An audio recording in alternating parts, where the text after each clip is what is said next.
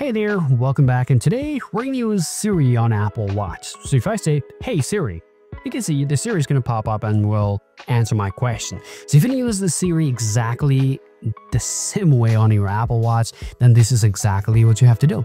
In order to activate or use Siri on Apple Watch, first you have to go and open up your settings on your Apple Watch and you want to find out the Siri settings just like your iPhone. So let me go and find out the Siri from here.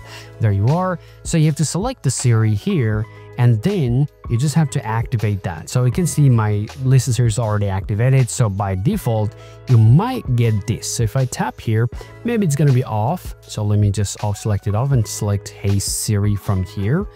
And then uh, if it gives you any prompt to continue, you can just follow ahead and just do that or it's also there's a feature called raise to speak and press this little crown button for Siri, Siri history and a lot more. So once you activate the Siri here, it can do a couple more things.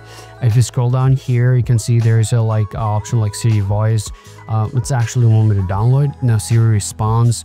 You can uh, do a couple more adjust if you need for a Siri. Now if I ask question to Siri, it will answer right away.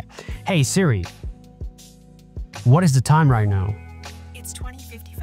You can see now Siri is responding my uh, word and now it's you know I asked for the time and it's just you know show me the time with a voice. So this is exactly what you gotta do to use and activate Siri right on your Apple Watch. If you still have any questions, please do them in the comment section guys. See you all around.